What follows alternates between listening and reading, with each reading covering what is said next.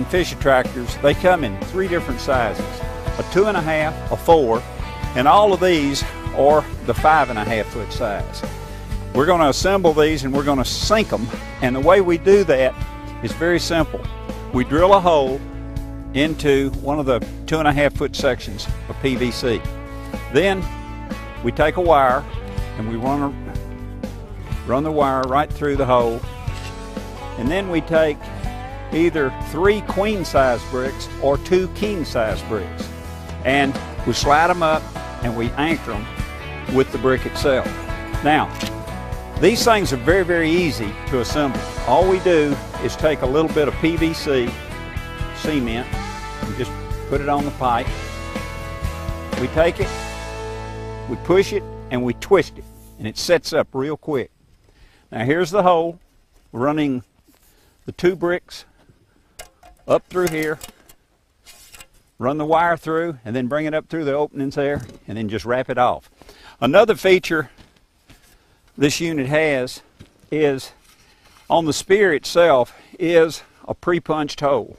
Now if you want to, if you want to suspend them off of a pier, a floating pier, or even a fixed pier, you can do that. But the unit itself, once it's submerged, it takes about a week, maybe two weeks to attract fish to it. I've heard people say that within two days they've caught fish off of them. But the key thing about the unit is that it's PVC.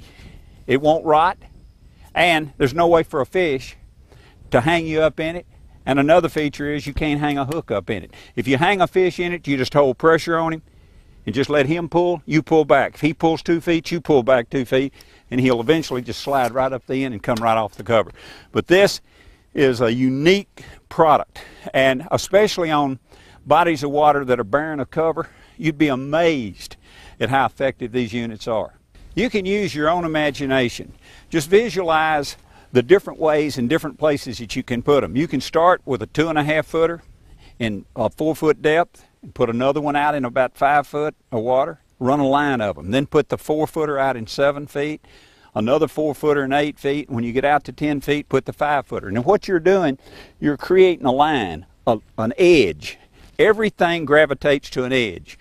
Uh, deer gravitate to a tree line, rabbit gravitate to a, a hedgerow, quail gravitate to a fence row, and fish gravitate to an edge. So by having a staggered row, you'd get fish migrating from this section of the lake, this section of the lake, moving up, and once they hit that, they're going to play up and down depending on light penetration, oxygen level, pH, and a multitude of reasons.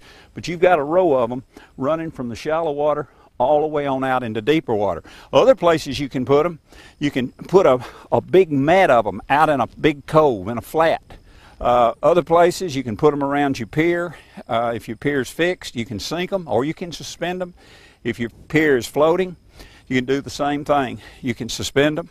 Other places to put them would be along barren shorelines, little clusters of them, uh, along a little channel, along a little ditch, a depression. It's just your imagination will run wild to the places you can put them. But believe me, when you put them out, the fish will find them.